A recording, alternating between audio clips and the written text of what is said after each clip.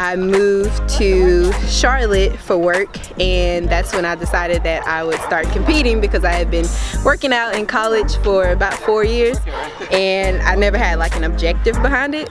So when I got here to Charlotte, kind of scoped out the fitness scene, um, took notice of what bodybuilding was and what it looked like, and I was like, that's the next level for me. So again, it was just about making that um, that move to the next level in my fitness um, journey.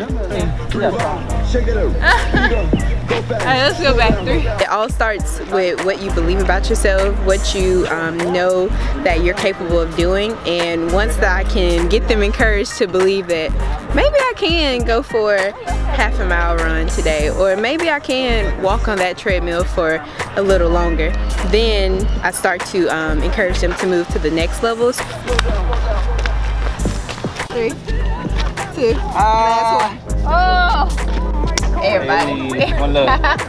My healthy lifestyle it transpires in so many other areas of my life um, work school church um, just my friendships and my family. So for me it's just an overall um, chance to be conscious of your actions be conscious of your thoughts um, be conscious of kind of like your spiritual levels and things like that. So um, I like to stay active I like to be able to inspire other people and encourage them to come along on the journey too to make an impact. I am a follower of Jesus Christ and I really really um, just value the importance of serving and um, just reaching out to people around you and beyond you. So when I was presented with the opportunity to visit Haiti, I knew that was for me. It's something I had been wanting to do for years and um, um, Blessed Back Worldwide gave me the opportunity um, and I didn't know how I would pay for it. I just trusted God for it and so far um, all of my donations that I've been receiving are allowing me to um, go on that trip. So I'm really looking forward to it and just reaching out to the people in Haiti and inspiring them